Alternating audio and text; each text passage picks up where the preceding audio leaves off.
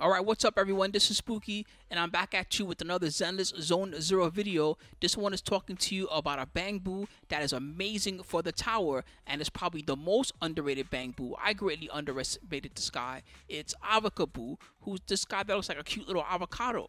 But the reason why he's really amazing for you potentially in your tower runs is he has this one skill here called Sweet and Juicy.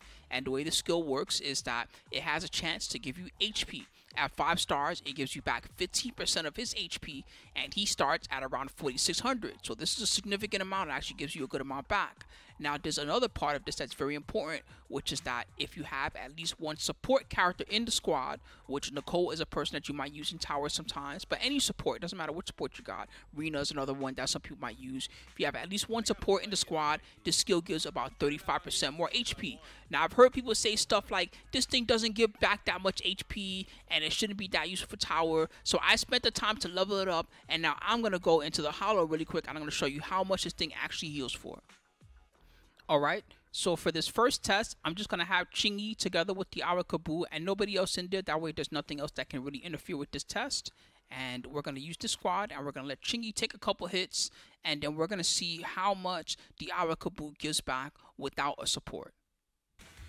So I make sure to take a hit or three. And now I'm going to wait for the Avocaboo to throw his little avocado at me. Whoop, there he goes.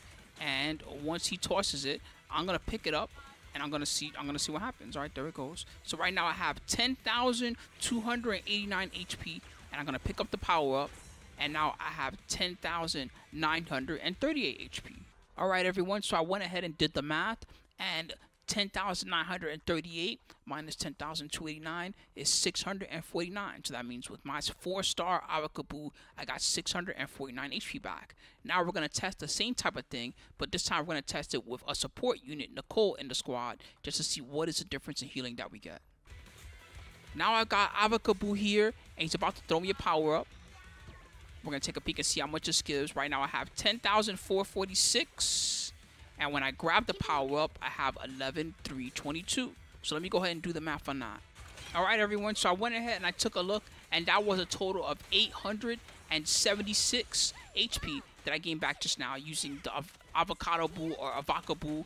And uh, that means that, you know, I, I, honestly, that's not even maxed out. So keep in mind that I have not, I don't have it five stars yet uh, which means that I'm not getting back, you know, like the max amount, that little 1% extra that it gives. But still, if I look at the amount it gives, keep in mind that you can get 15 procs, so that 15 times 876, and then you get an extra 3 procs if you go ahead and you have a support person on the squad, you get an extra 3. It takes the course of around 1 minute uh, per 3 procs, something like that. So to get all of the procs, uh, to get all the procs would take a while, mind you. But in Tower, you know, some of the fights are a little bit on the longer side. Not every fight is like a one-minute fight, especially the bosses and that type of thing. So it's a good way for you to recover, especially the smaller damage you take in the tower. But even if you got someone that's pretty heavily beat up or something like that, then, you know, trust in the Avocaboo because it might be a good way to heal yourself.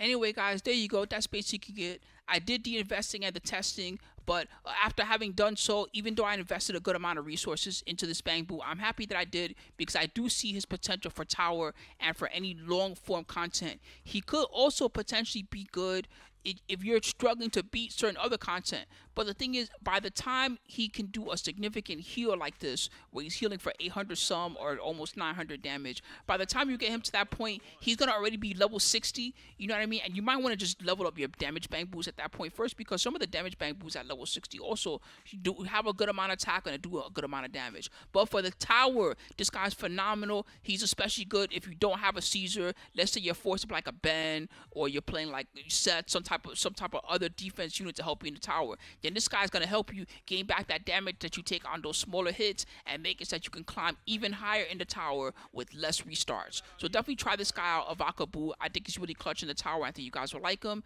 And thanks as always for enjoying all the Zenless Zone videos like you guys always do. Have a beautiful day, everyone, and I'll see you all later.